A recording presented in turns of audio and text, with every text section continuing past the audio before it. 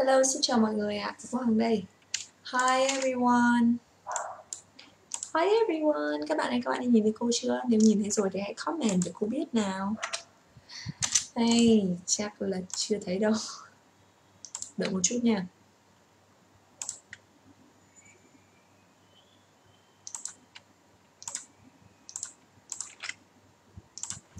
Xin chào mọi người ạ. À.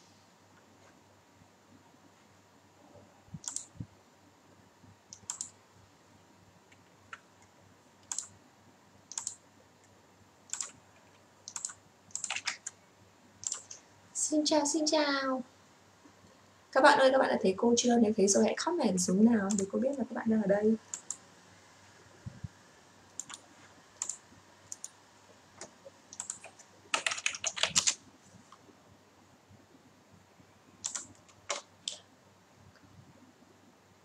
Ừ, chắc là đợi một chút.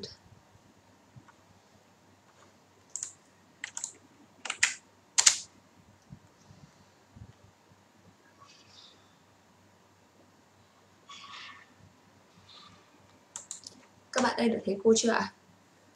Hello Hello everyone, it's me Cô Hằng đây các bạn ơi, tại sao cô không nhìn thấy ai hết?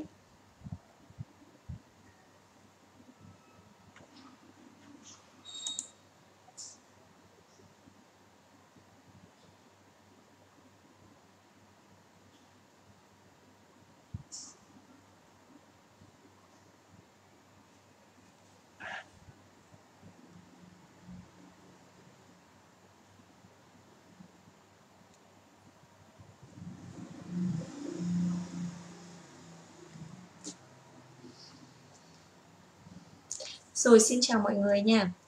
Hôm nay cô Hằng uh, Xin chào tất cả mọi người. Hôm nay cô bắt đầu livestream với chủ đề đó là các động từ thông dụng nhất hành tinh. Các động từ ngoại ngữ chúng ta dùng rất rất rất nhiều. Nào, mọi người cùng uh, lên và học với cô nhá. Hello. Chắc là phải đợi một chút nữa nhé Các bạn ơi, một phút nữa chúng ta sẽ bắt đầu nhé Xin chào mọi người ạ.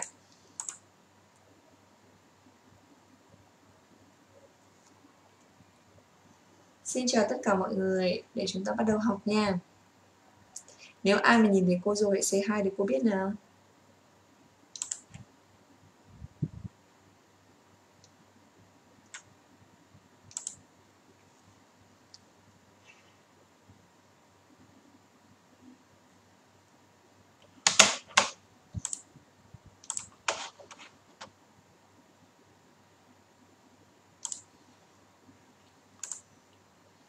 Rồi, ok, cô đã nhìn thấy các bạn rồi. Ok ạ, chào mọi người nha.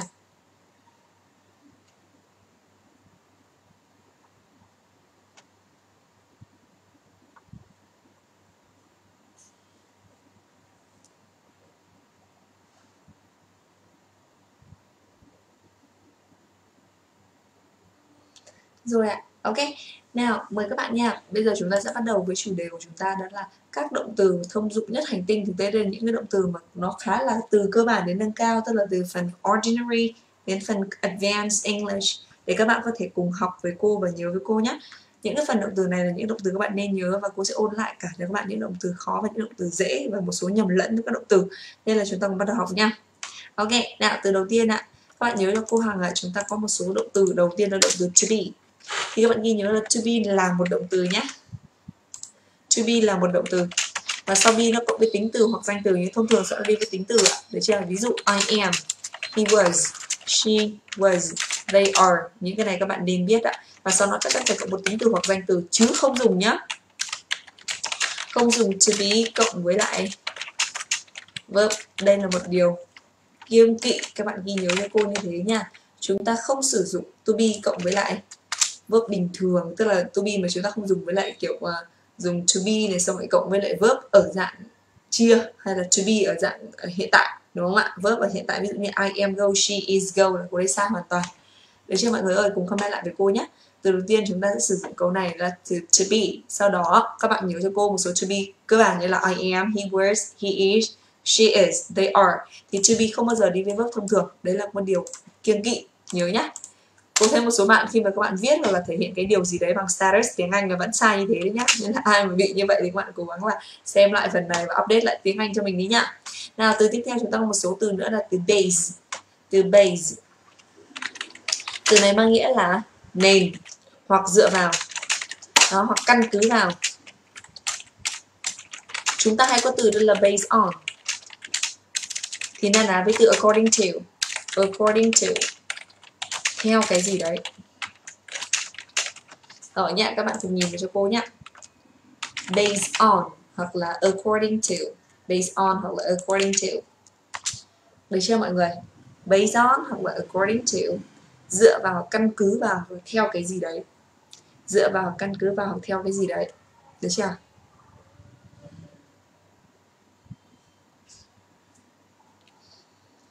Nào các bạn đây tiếp tục nào. Một số từ các bạn cùng comment lại cho cô nha để cô biết là các bạn đã học hay không ấy. Cô không nhìn thấy các bạn comment, tưởng là các bạn không tương tác được với cô.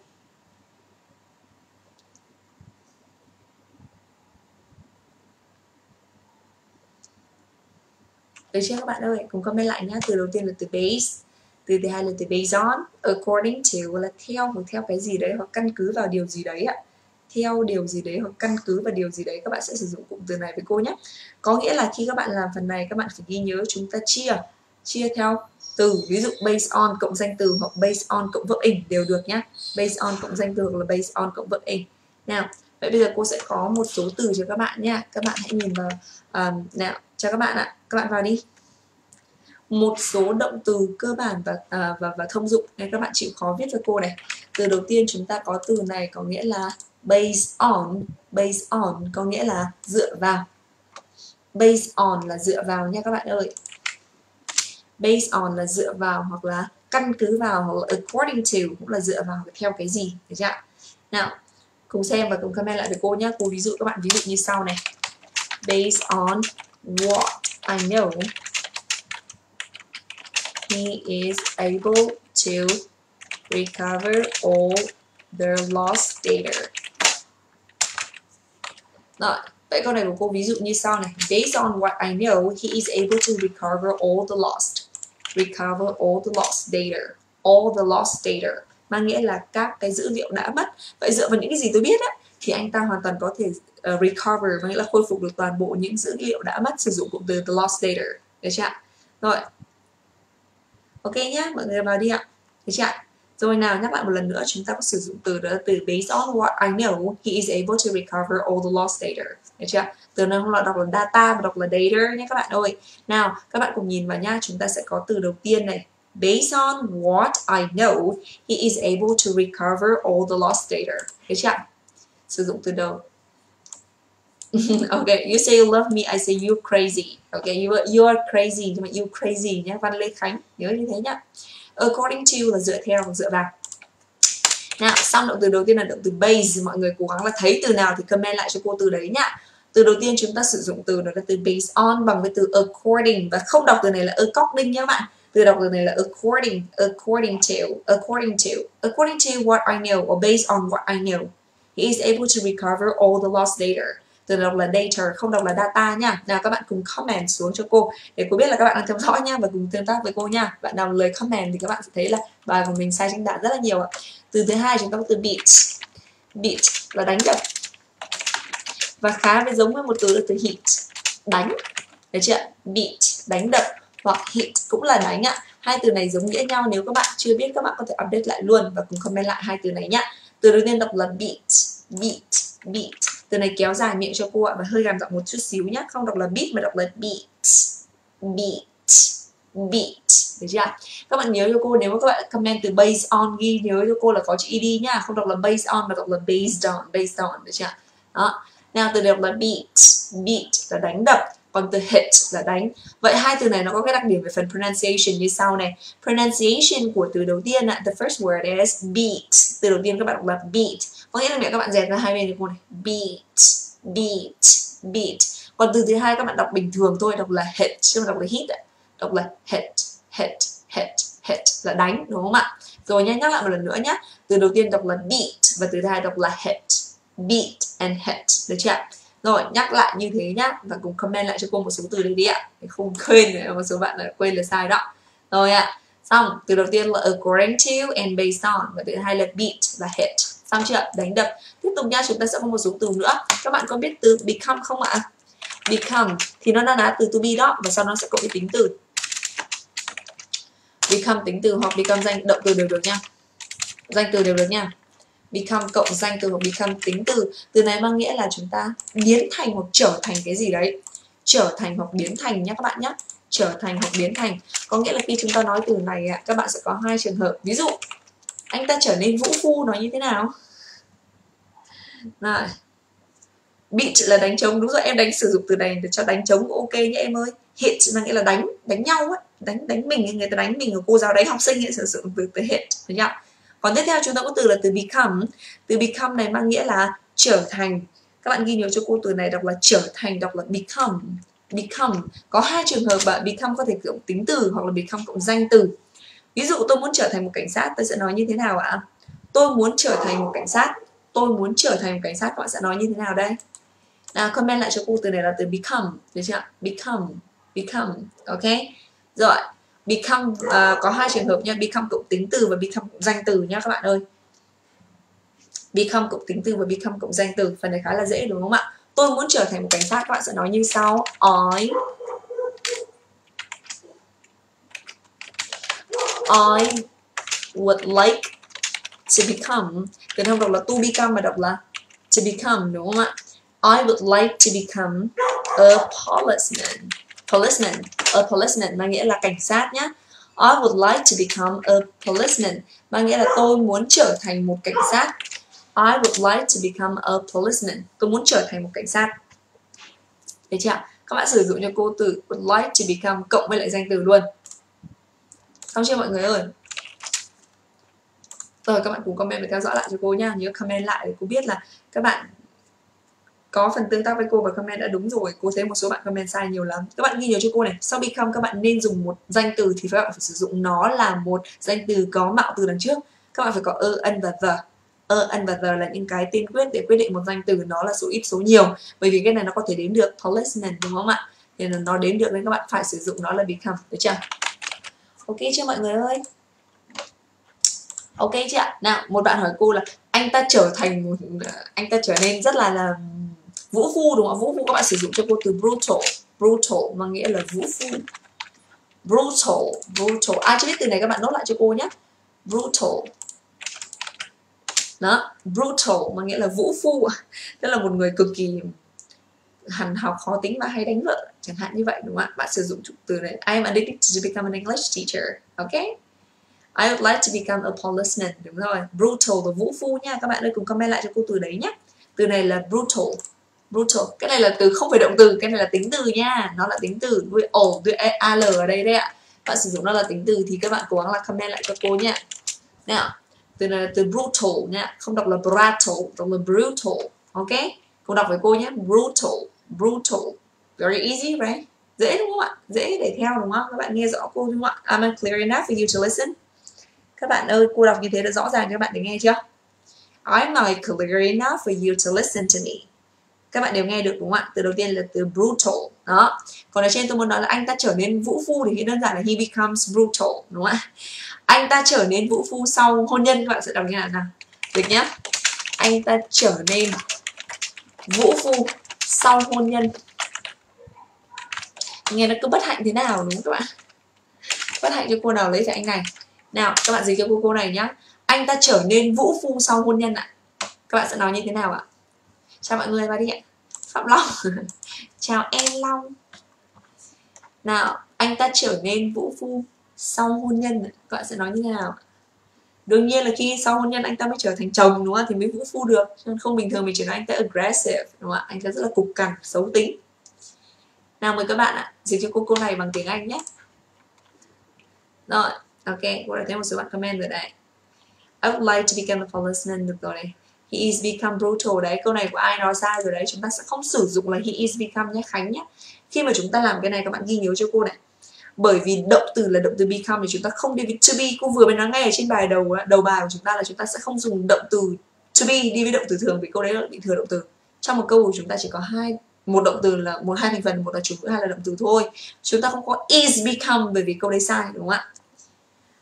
Rồi, ví dụ một đoạn nói là, he became really brutal after getting married. Ok, very good, rất hay đúng không ạ? He became brutal after marrying.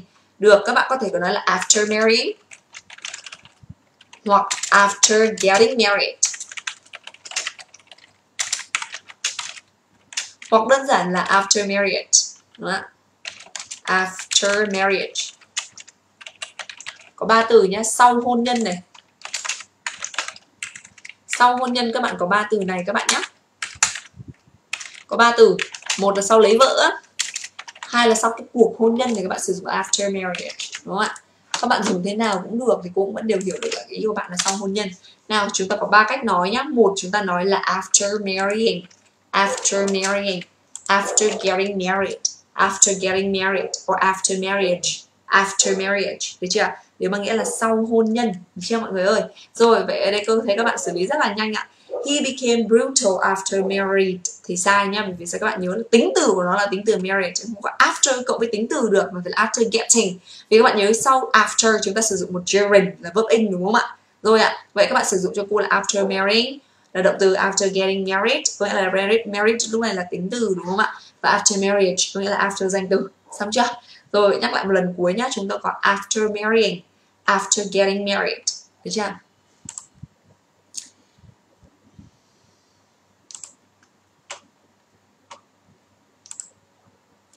Được chưa? Được chưa cô đã đợi một chút nha. Cho các bạn vào nha.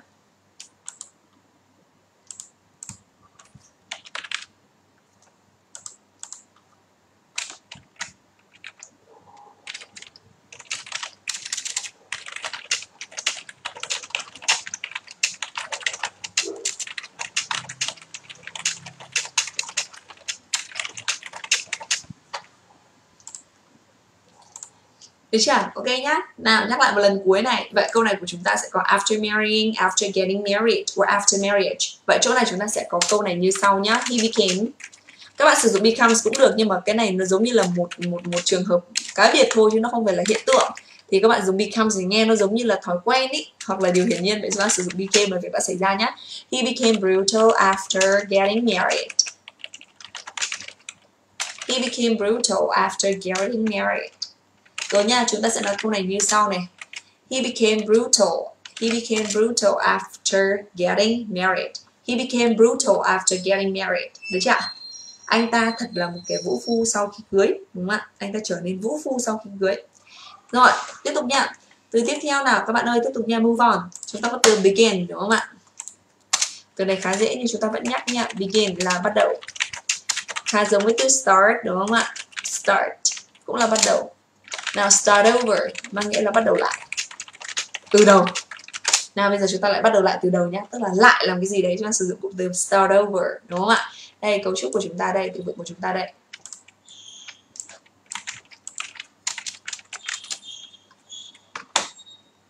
Rồi cùng comment lại với cô nhé Chúng ta có từ begin bằng với từ start Và chúng ta có từ start over. Ví dụ như I would like to start over everything. Uhm, Em nghĩ chúng ta nên chia tay và bắt đầu lại từ đầu đúng không ạ? Thì chúng ta sử dụng cụm từ là start over. Cô nhắc lại một lần nữa nhé I think we should start over. I think we should start over. I think we should start over. Mang nghĩa là tôi nghĩ rằng chúng ta nên bắt đầu lại từ đầu, đúng không ạ? Bắt đầu lại, làm lại một cái gì đấy, sử dụng cụm từ start over. Begin, không đọc là begin nhá. Bạn nào mà đang học tiếng Anh hoặc là đang học trường tiếng Anh trong trường phổ thông ấy đặc biệt là trong trường phổ thông đấy các thầy cô không thường tập trung quá nhiều vào phần pronunciation của nó. Nên là các bạn cố gắng là mình cùng luyện với cô nhé ví dụ cô không đọc từ này là từ begin mà cô đọc từ này là từ begin vì cho âm của nó rơi vào thứ hai các bạn ạ. Không đọc là begin đâu mà các bạn đọc từ này là begin. Không đọc là begin nha các bạn ơi, đọc là begin begin begin, đúng không ạ? Begin. Được chưa ạ? Không đọc là begin. Mà đọc là begin được chưa ạ rồi nhá, vậy câu câu của cô, các bạn có nghe ra được không ạ? Ai nghe thì có thể comment lại cho cô nhé từ này của cô nói là, I think we should start over. I think we should start over. Có nghĩa là tôi nghĩ rằng là chúng ta nên bắt đầu lại đi, đúng không ạ? Đấy. I think we should start over. Được chưa rồi, cô Hằng đang nhận được một số phần comment các bạn có hỏi có lớp, của cô không, cô có lớp các bạn ạ. Các bạn cứ inbox cho cô nhé để kẹo cô livestream xong cô có thể tư vấn cho các bạn cô Hằng có lớp để tập trung cho các bạn về phần nói, giao tiếp này, để tự tin hơn, nâng cấp từ vựng này, phản biện bằng tiếng Anh này, giống như kiểu chém gió bằng tiếng Anh nhưng mà ở mức level cao. Hoặc các bạn có phần level thấp dành những người mất gốc. Học lớp online, mọi người cần cô tư vấn thì các bạn hãy nhắn tin cho cô nhé để tạo nữa, cô livestream xong thì cô có thể tư vấn cho các bạn, nhưng bây giờ thì cô không không ờ, không kịp ờ, lưu lại tin nhắn đâu ạ. Đấy, cô thấy có một số bạn comment với lại uh, gửi tin nhắn cho cô. Em chào cô em muốn đăng ký học. Ok ạ. Rồi em ơi tẹo nữa cô sẽ ờ, trả lời tin nhắn của em nhé nhá. Khuyên bùi nhá. Phương hà ok em ơi. Tẹo đã cô mới check được nha tẹo nữa nha rồi ok. Tiếp tục này chúng ta tiếp tục có một số động từ nữa. Sau động từ begin rồi chúng ta sẽ có động từ đó là động từ believe. Từ believe này khá đặc biệt này rất nhiều người viết sai chính tả từ này nên các bạn thật cẩn thận nhá. Tin tưởng. Nó sẽ khác với từ belief. Để nó là danh từ. Lòng tin. Cái này các bạn nên biết nhá. Và khá giống với từ trust cũng là tin tưởng. Cái này rõ này.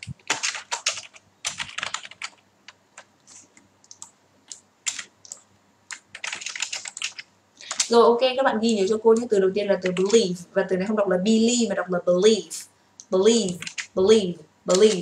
Từ này có nghĩa là tin tưởng Và bằng nghĩa với từ trust. Các bạn hãy nhớ là trust me Là hãy tin anh đi đúng không? Trust me. Đó, kiểu thế. Đó vậy các bạn để ý cho cô nhé. Trong trường hợp này chúng ta đọc từ này cũng là trọng âm thứ hai. Các bạn không đọc là believe mà đọc là believe. Believe believe. Được chưa mọi người? Ok. Believe. Đó. Còn từ thứ hai mà cô comment ở đây đó là từ trust từ này không đọc là chút, mà là trust. Có nghĩa là cái âm o của nó trong cổ họng ấy, các bạn không đọc là a là trust. Câu này sai nhé. Đấy. Và đọc từ này là trust. Trust. Trust. Đúng rồi, trust. Đấy chưa còn cái từ ở dưới ạ, chúng ta có từ thứ ba đây ạ. Chúng ta có từ này là từ belief.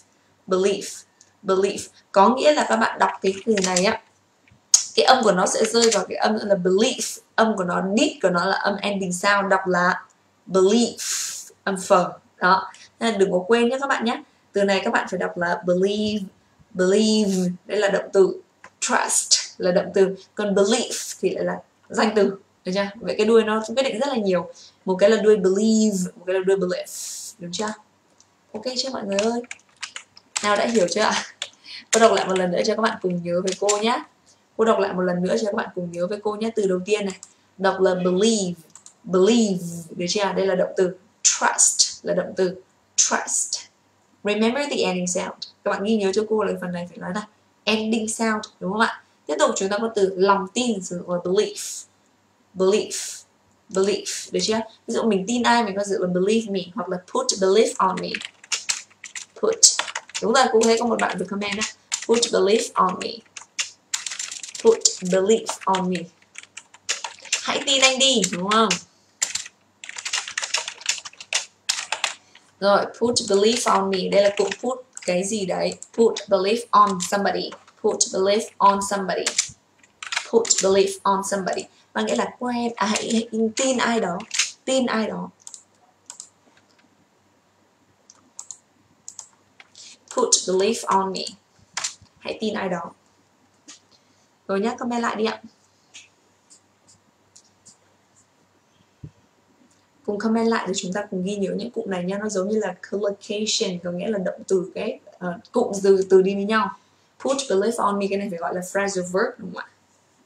Các cụm động từ. Put belief on me mà nghĩa là mình tin ai đó. Put belief on somebody. Good. Rồi được chưa mọi người ơi? Tiếp tục nhá chúng ta có từ tiếp theo là từ belong. Belong không thường sẽ đi với tu ạ. Belong to mà nghĩa là thuộc về. Belong to là thuộc về. Thuộc về ai đấy đúng không ạ? Belong to thuộc về ai đấy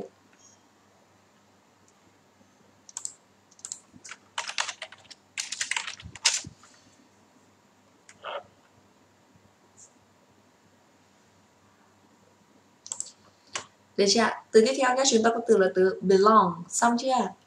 I belong to you. em thuộc về anh đúng không?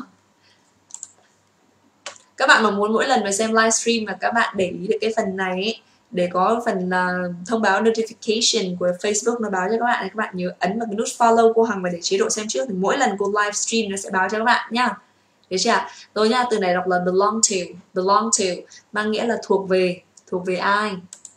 Xong chưa rồi tiếp tục nghe chúng ta cái từ break break mang nghĩa là làm vỡ. Tiếp tục break up mang nghĩa là chia tay break down sụp đổ được chưa? Hoặc là, hoặc là vỡ hoặc hỏng á. Sụp đổ hoặc hỏng sử dụng từ này. Tiếp tục break in. Break into là đột nhập.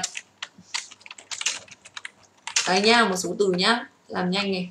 Cô nhắc lại một lần bốn từ này để các bạn cùng làm với cô để ghi nhớ cho cô nhé không cần học quá chậm nhưng các bạn cố gắng là mình comment để mình nhớ được những từ này. Vì một lần mình viết là một lần mình nhớ mà. Từ này đầu tiên đọc là từ break.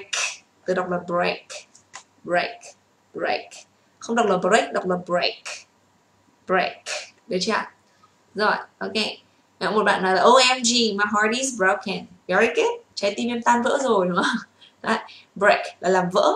Động từ này là làm vỡ. Các bạn cùng comment lại cho cô nhé. Break. Từ đầu tiên là từ break. Comment xong chưa break. Làm vỡ. Tiếp tục, break up mang nghĩa là chia tay. Break up là mang nghĩa chia tay. Được chưa? Xong đã. Cứ xong hai từ đầu tiên đã không cần comment vội cả bốn từ đâu, không lại không nhớ. Từ từ thôi cô nốt từ đấy để các bạn cùng nhìn nhé từ đầu tiên là từ break, làm vỡ, nhìn thấy chưa? Từ thứ hai là từ break up. Break up là chia tay. Rồi, xong hai từ đầu đã được chưa? Một bạn nói, I break into your heart. I break into your heart này các bạn. Anh anh đột nhập vào trái tim em à rồi, xem chưa đúng rồi, một bạn còn nói là belong là verb nha, không đi với to be, chính xác rồi đấy. Chúng ta không nói là he is, belong to, đúng không he belongs to luôn. Được chưa? Rồi nhá, nhắc lại một lần nữa này, từ đầu tiên là từ break, từ hai là break up. Vậy hai từ này nghĩa là break là là vỡ, nghĩa bình thường thôi, gọi là ordinary meaning, đúng không ạ? Nghĩa rất bình thường. Tiếp tục mình có từ là từ break up ở đây mang nghĩa là phần phrasal verb, nghĩa là chúng ta đang ghép một giới từ vào cái động từ đấy để tạo thành một nghĩa khác. Break up nghĩa là chia tay he would like to break up with me. Hắn ta muốn chia tay với tôi, đúng không ạ? Chết với bà. Kiểu như vậy. Đó. đấy, từ này là từ break up. He would like to break up with me. He would like to break up with me. Yeah. how dare he break up with me? Làm sao mà nó dám ờ, chia tay với tao, đúng không? How dare he? Rồi, cái câu này là từ, là break up. Break up, được chưa chia tay. Xong rồi từ thứ ba này bắt đầu. Từ thứ ba này chúng ta có từ là từ break down. Break down. Break down. Break down break down được chưa nhanh hơn nhé break down. Break down là sụp đổ là hỏng. Sụp đổ hoặc là hỏng á các bạn sử dụng từ này cho cô nhé break down. Sụp đổ hoặc là hỏng ạ. Xong chưa ạ? Rồi, sụp đổ hoặc là hỏng, các bạn sử dụng từ này. Ví dụ như là, the car is broken down. The car is broken down mang nghĩa là cái xe hỏng rồi. Break down là sụp đổ của cái gì đấy. Và cuối cùng chúng ta có động từ break into break into là đột nhập vào đâu. Break into. Được chưa? Xong hai từ cuối chưa? Các bạn ơi comment lại cho cô hai từ cuối comment đủ bốn từ nhá không quên nhá bởi vì những cái từ này nó rất dễ nhầm với nhau. Nó chỉ thay có một cái preposition thôi là cái nghĩa của nó đã khác hẳn rồi đúng không ạ? They have a different meaning right? Now the first word is break. The second word is break up. The break down and break into. Ok? Nhớ là ở đây cô đang sử dụng rất nhiều phần gọi là and, à, nối âm ạ linking sound. Cô đọc là break up. Không đọc là break up mà đọc là break up cùng đọc với cô và các bạn tạo thành thói quen đi. You should have the habit of linking sounds in English. So this word is break up into break up. Break into into break into. Đấy nhớ nhá cô đọc là break up thì thành break up luôn cup, cup, cup, cup, cup. được chưa? Break into thì break into into into. Ghi nhớ là như vậy rồi đọc lại một lần nữa nhá. Break up break up là chia tay. Break down là sụp đổ hỏng và break into mang nghĩa là đột nhập đột nhập vào đập đấy các bạn vừa nói là tôi đột đột nhập vào trong trái tim em ấy nghe hơi lố. Rồi. Ok nha các bạn ơi. Xong xong xong xong. Rồi nào tiếp tục nha. Một số từ nữa này. Tiếp theo chúng ta có từ là từ build. Build. Bằng cái từ setup um, na ná từ setup chứ không phải là bằng. Build là xây dựng. Setup cũng là xây dựng lên, thiết lập lên. Và khá giống với từ establish. Establish. Đó, nhìn mồm cô cô xoắn quẩn mồm này. Establish. Mình establish. Bạn nào mà đọc là establish thì nghe nó rất là ngộ đấy các bạn ạ. Đây, các bạn đừng đọc là establish nhá. Cái này mang là thành lập nào, từ đầu tiên là từ build. Build. Không không này là build nhé. Tại sao bạn lại đọc là build nhỉ? Uh, cô sẽ, sẽ sẽ phân biệt với các bạn nhé. Từ này không đọc là build mà từ đó là build.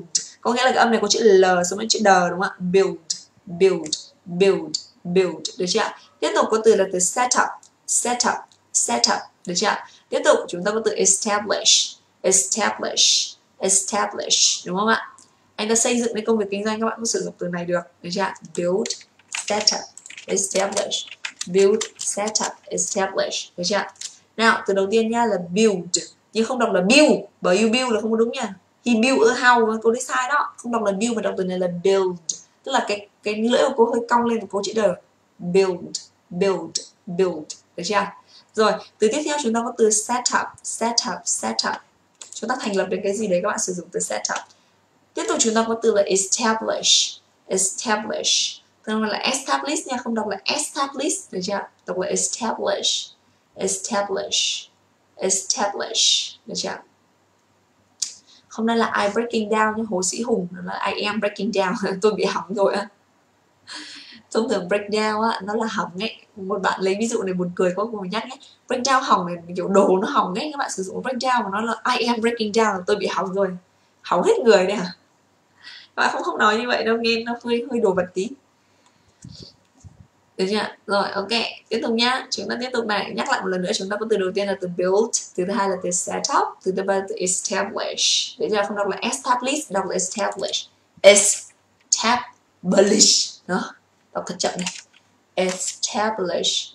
Establish. Establish. Được chưa? Nhìn mồm cô đầu tiên là iser này. Xong establish. Đó, đuôi của nó là đuôi sh nhé. Bạn nào đọc là establish là sai. Từ này là establish establish. Establish. Đúng không ạ? Ok chưa? Establish. Nào ví dụ doanh nghiệp tư nhân này được thành lập năm 1976 Doanh nghiệp tư nhân này được thành lập năm 1976 ừ, Nghe có tí lịch sử trong đâu đây? Nghe nó cổ cổ đúng không các bạn? Nào dịch cho cô nào review cho cô đấy ạ. Doanh nghiệp tư nhân này được thành lập năm 1976 Doanh nghiệp tư nhân nhá. Doanh nghiệp tư nhân này được thành lập năm 1976 Các bạn nói như thế nào đây? Nếu bạn nào không kịp xem livestream này của cô, Các bạn hoàn toàn có thể xem lại trên kênh youtube tiếng Anh cô Hoàng Bựa nhá. Có nghĩa là các bạn lên youtube gõ tiếng Anh cô Hoàng Bựa là nó ra vì phần đấy à, cứ mỗi lần mà cô livestream xong thì các bạn uh, admin các bạn đã đẩy cái phần uh, YouTube, Facebook uh, video lên trên đấy rồi ạ. Các bạn cố gắng là lên trên đấy xem lại nếu như không kịp xem hết phần này. Được chưa? Hai em Rose Hana, chào em nhé. Vào đi. Doanh nghiệp tư nhân này được thành lập năm 1976 ạ. Doanh nghiệp tư nhân này được thành lập năm 1976. Nào xử lý câu này như thế nào ạ?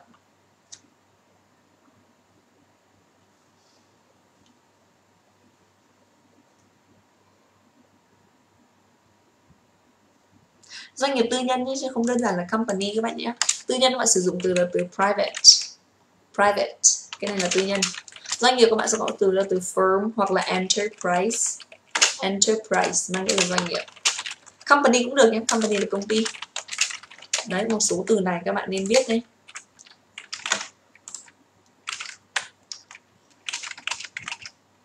Rồi, cô nhắc lại một lần nữa nhé, chúng ta có doanh nghiệp tư nhân nha, chúng ta không sử dụng mỗi từ company đâu nha các bạn có từ tư nhân, các bạn sử dụng từ private. Private, tư nhân, đúng không ạ?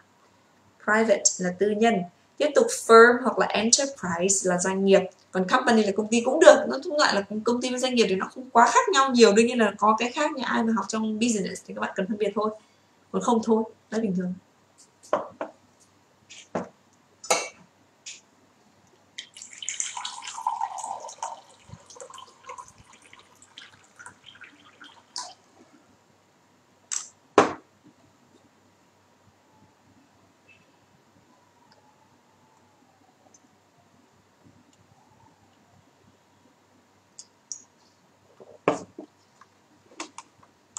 Rồi các bạn ơi một trong hai từ rồi có bạn dùng cả firm và enterprise trong một câu ấy hả The firm and enterprise, they are the synonym. Firm and enterprise are synonym. You can use either one or two. Các bạn dùng một hoặc hai thôi, không có dùng cả hai nha. private enterprise firm không có đâu sử dụng mẫu private enterprise hoặc là private firm thôi Kiều Anh ơi sửa lại bài của em đi đây cô thấy là bạn nào làm học sinh của hàng comment rất chuẩn một số bạn comment ờ, học sinh của thì không cần phải chỉnh nhiều luôn ạ. Những bạn nào mà chưa học thì thấy các bạn comment sai tùm lum. Ok. Rồi nhá nào. Vậy câu này sẽ nói như sau nha. This private this private enterprise, this private enterprise or this private firm or this private company, đúng không ạ? Bởi vì cái này được thành lập và nó đã thành lập rồi các em ạ. Vậy ở đây không thể nói là nó thành lập thành establish ở dạng chủ động. Active voice active voice được ở đây phải là passive voice. Có lẽ các bạn phải sử dụng uh, phần bị động ở đây đúng không ạ? Was established. Was established. Was established.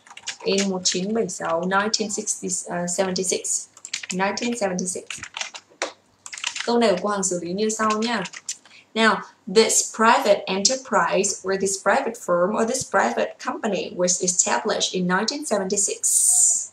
Yeah. This private enterprise or this private company was established in 1976. Được chưa? Rồi, cô thấy các bạn làm đúng rồi đấy. Khi mà cô chữa cho các bạn một số cái là các bạn không dùng cả hai từ firm and enterprise nữa, các bạn chỉ dùng một thôi đúng không ạ? Firm or enterprise only. Don't use both words không dùng cả hai từ nhé các bạn nha. Rồi cô thấy các bạn làm ổn rồi đấy. Was set up cũng được hoặc là was uh, ờ, was established cũng được nha. Nhớ là was established thì phải sử dụng ở dạng P2 nghĩa là dạng này là dạng ờ, ở ed đấy các bạn phải thêm ed vào nha. Nhiều người không thêm ed sai ta đang rồi kìa. Rồi ok cô nhắc lại một lần cuối câu này nhá. This private enterprise firm company was established in 1976. This private firm was established in 19, uh, 1976. Được chưa? Xong nha. Để cho mọi người ơi nào, let's move on. Đối nha, tiếp tục này. Chúng ta có từ là burn. Burn. Đốt. Đốt từ này khá giống khá đơn giản, không có gì cả nhỉ burn là đốt. Nào comment lại nha từ này là burn và không đọc là burn nha, đọc là burn. Các bạn ơi, đọc từ này là burn. Cùng đọc từ này là burn nha. Burn. Có nghĩa là các bạn sẽ phải cong lưỡi lên ạ. Burn. Không phải burn ạ. Burn burn burn burn. Ok? Được chưa? Đừng đừng đừng quên đọc là burn nha, buồn cười lắm burn. Xong chưa mọi người? Burn nha. Không đọc là burn ạ, đọc là burn. Đốt, đúng chưa rồi, tiếp tục bạn. chúng ta có từ tiếp theo này chúng ta có từ accept. Accept. Cái này là chấp nhận. Chấp nhận. Accept. Accept. Có nghĩa là lúc này các bạn sẽ thấy là mồm chúng ta sẽ phải đưa ra thành accept chứ không phải là accept. Nhưng các bạn hay đọc là accept. Accept. Accept. Đúng rồi, cô vừa đọc từ burn, các bạn đọc thành bring nhá burn nhé và accept. Accept. Accept là chấp nhận được chưa không đọc là accept mà đọc là accept. Có cái chữ c này này nó là cái âm của cái âm thứ hai chứ không đọc là accept. Không đọc là accept mà đọc là accept accept accept. Có nghĩa là ending sao? Cô rất là rõ ràng đúng không ạ? Không đọc là accept ở thờ mà là accept. Và thật mạnh lên ạ vì âm này đều là hai âm không dung hai âm uh, vô thanh ạ voiceless sound. Được chưa các bạn đọc lại nhé từ này là accept accept accept được chưa? Tiếp tục chúng ta có từ adopt adopt thích nghi hoặc nhận nuôi. Các bạn có hay nghĩ adopt thích nghi hoặc nhận nuôi. Đó, từ này là adopt thích nghi hoặc nhận nuôi. Nếu chúng ta sống trong một gia đình mà có một đứa con nuôi, các bạn sẽ nói câu này là adopted family. Adopted family. Adopted family là gia đình có con nuôi cái này các bạn nên nốt lại và nên viết các bạn cùng comment lại cho cô để cô biết là các bạn đang comment đúng nhất từ này là adopted family mang nghĩa là gia đình có con nuôi gia đình uh, có một bạn vào đây mình nhận về nuôi không phải là do mình đẻ ra được chưa? Adopted family adopted family. Adopted family xong chưa? Ok rồi adopted family. Rồi các bạn ơi comment uh, một số bạn đang hỏi lớp ạ. Các bạn inbox cho cô nha để kẹo cô có thể tư vấn được. Cô có lớp online dành cho các bạn có các trình độ khác nhau muốn nâng cấp tiếng Anh đặc biệt là tiếng Anh giao tiếp và phục vụ cho công việc. Ứng dụng được chưa? Bắn tiếng anh như gió. Đấy. À, tiếp tục nha phần tiếp theo là chúng ta có từ là từ account. Account. Mang nghĩa là tính toán. Và account for. Account for mang nghĩa là chiếm đến bao nhiêu phần trăm? Đấy chúng ta có hai từ này nhá cô vừa có từ là từ adopted family. Adopted family là gia đình nhận nuôi. Và bây giờ chúng ta sẽ có từ account. Account for, account hoặc là account for mang nghĩa là tính toán hoặc là account for là chiếm đến, chiếm bao nhiêu phần trăm đó. Các bạn ơi, nhớ cho cô nhé, từ này là chiếm bao nhiêu phần trăm. Các bạn biết là động từ danh từ account là tài khoản đúng không ạ? Thì động từ account là tính toán. Account giống như kiểu cô, kế toán viên đó, đúng không ạ? Accountant. Accountant, đó bây giờ chúng ta sẽ có động từ của nó là account, tính toán. Còn account for là chiếm đến bao nhiêu phần trăm? Chiếm bao nhiêu phần trăm? Sử dụng từ là từ account. Account for. Account for. Được chưa? Không đọc là account for, đọc là account for. Có nghĩa là khi bạn đọc ấy, cô thấy có rất nhiều người đọc bỏ qua từ account, đúng không ạ? Bạn nào đang đọc là account để xem lại cái phát âm của mình nhé thì pronunciation chính xác của nó như thế này này. Account. Có chữ n là account account account. Được chưa? Ok? Account. Không đọc là account, mà đọc là account. Account. Account là chính tính toán và account for là chiếm đến. Tiếp tục chúng ta có từ achieve. Động từ achieve mang nghĩa là đạt được. Bằng với động từ acquire. Và bằng luôn động từ get. Đó, ba từ này na na nhau. Tức là các bạn hiểu là trong tiếng Anh và đặc biệt là nếu mà học trong lớp của cô Hằng, cô không bao giờ cho phép các bạn sử dụng một từ duy nhất ạ. À. các bạn luôn luôn phải sử dụng các từ vựng phong phú khác nhau để các bạn thấy là cái bài của mình luôn luôn được thay đổi thay đổi thay đổi liên tục, chứ không bao giờ đọc mỗi get get get get get achieve achieve achieve. Và các bạn luôn luôn phải có 2 đến 3 từ để dắt vào túi của mình. Cần dùng từ nào thì các bạn sẽ dùng từ đấy ạ. Các bạn nhớ cho cô như thế nhé không đọc từ này là achieve, đọc là achieve achieve. Các bạn đẩy hơi ra cho cô, achieve achieve. Được chưa achieve bằng với động từ acquire, achieve and acquire, achieve and acquire và get. Achieve, acquire and get. Xong chưa achieve, được chưa nào, comment lại đi các bạn ơi. Không comment lại, quên bây giờ đấy cô thấy có rất nhiều người. Mồm thì đọc được, đúng không ạ? Học sinh cô hằng thế nên bị cô chửi suốt. Mồm thì đọc được, đúng không ạ? Đến lúc viết rồi viết sai tùm lum luôn. Ai lại sai thế bao giờ? Được chưa ok achieve viết sai chính tả rồi chi bùi ơi, xem lại đi. Achieve là đạt được nhé các bạn. Achieve là đạt được này, xong đến từ get này. Achieve là đạt được, xong đến get get get, xong đến acquire. Đấy, các bạn nhìn thấy ạ, và comment lại từ cho cô nhé. Achieve, acquire, and get. Achieve, acquire, and get. Được chưa? À ở đây có một số bạn đọc sai. Đó cái từ acquire của mình á từ này mình đọc nhớ này. Acquire. Đó, tức là mình sẽ phải uốn cái mồm của mình sang choir choir choir cong lưỡi lên, vì có chữ r cuối đúng không ạ? Tại vì cô hằng đang nói thì American English. Cô đang sử dụng American English, có nghĩa là Anh Mỹ khi mà mình đọc lại, mình không đọc là acquire, mà đọc là acquire acquire. Nói được chưa? Achieve, get, and acquire. Xong chưa? Comment được chưa mọi người? Rồi nha, tiếp tục nha, chúng ta có một số từ nữa là từ affect ảnh hưởng. Còn effect, mang nghĩa là có kết quả. Effect, có kết quả là cái gì đấy? Nào, từ đầu tiên là từ affect là ảnh hưởng nhé, còn effect là có kết quả gì đấy? Nào, chúng ta có hai từ nha, từ affect affect affect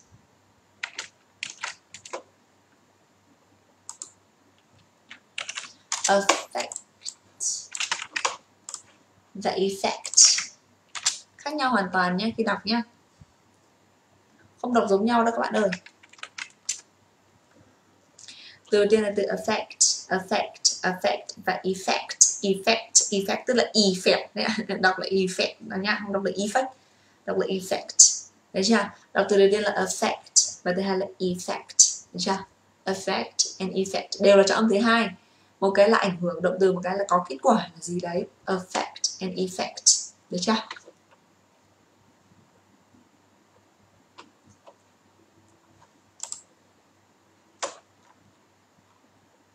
Đúng rồi, xong nha tiếp tục nào chúng ta có một số từ nữa là từ afford.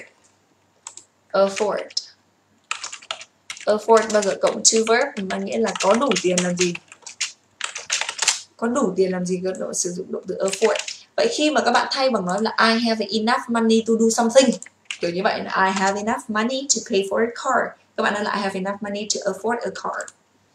I have enough money to afford a car. Nào bây giờ cô, cô thử đọc như thế các bạn có sắp lại được không nhé các bạn cùng comment lại cho cô nhé. Câu đầu tiên của chúng ta, đó là từ afford. Từ này là afford afford là có đủ tiền làm gì? Afforder viết sai chính tả rồi kìa văn bôn ơi từ này là afford afford afford nhá. Không đọc là afford, đọc là afford afford afford. Có nghĩa là chúng ta đủ tiền để làm gì đấy? Đủ tiền để làm gì đấy, được chưa xong chưa mọi người? Vậy với trong trường hợp này, nếu bây giờ các bạn muốn nói afford, và cũng có câu như sau nha he don't have enough money to afford a car. Là các bạn cùng comment lại cho cô cô đấy nhé. Xin lỗi, cô nói nhầm. He doesn't nhé he doesn't have enough money. He doesn't have enough money to afford a car. He doesn't have enough money to afford a car.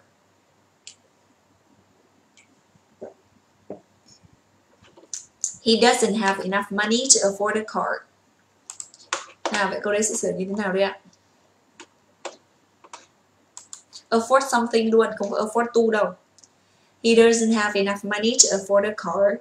He doesn't have enough money to afford a car. Nào cùng comment lại cho cô xem nhé. Cô đấy sẽ như thế nào đấy ạ? He doesn't have enough money to afford a car.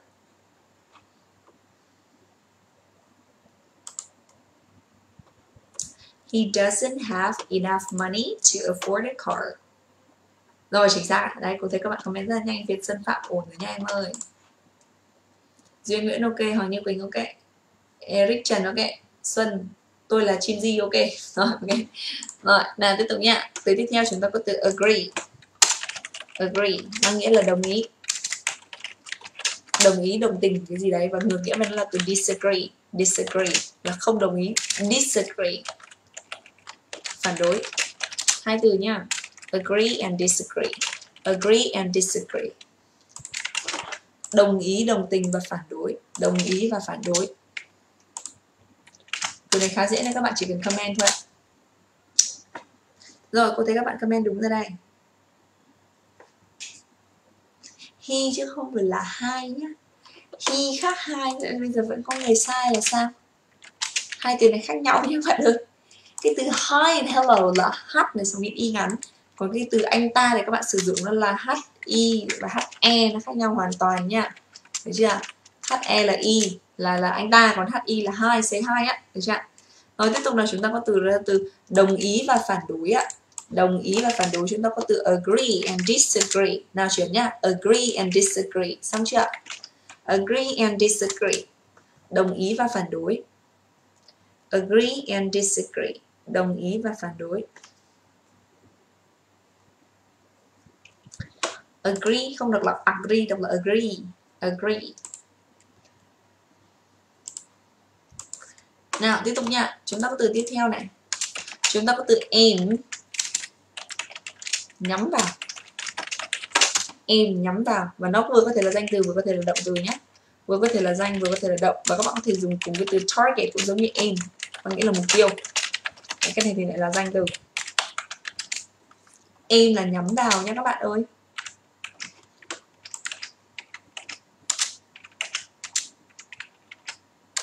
Aim là nhắm vào. Và sử dụng từ là target hoặc là aim, target hoặc là aim. Mang nghĩa là mục tiêu của cái gì đấy. Danh từ.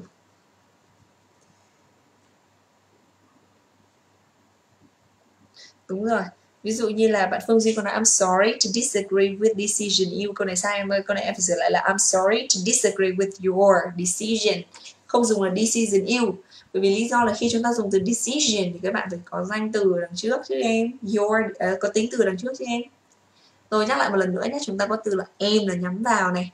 Đọc là aim có nghĩa là miệng chúng ta dẹp ra. Aim, aim, aim. Tiếp tục chúng ta có từ target, target, target. Và từ aim là mục tiêu, được chưa? Aim nó vừa là danh từ vừa là động từ. Both a noun and both a verb, đúng không ạ? Both a noun and verb. Rồi thế nhá. Xong rồi ạ. Vậy hôm nay chúng ta có phần học về đây. Đây là part 1 thôi, chúng ta có phần là 330 động từ thông dụng nhất hành tinh các bạn nên biết. Uh, okay, so that's all for today. I have just delivered a lesson about a part of 330 mm, most commonly words or most commonly verbs in English. And that's all for today. And thank you for your attention. Bye bye and see you. Chào mọi người nha.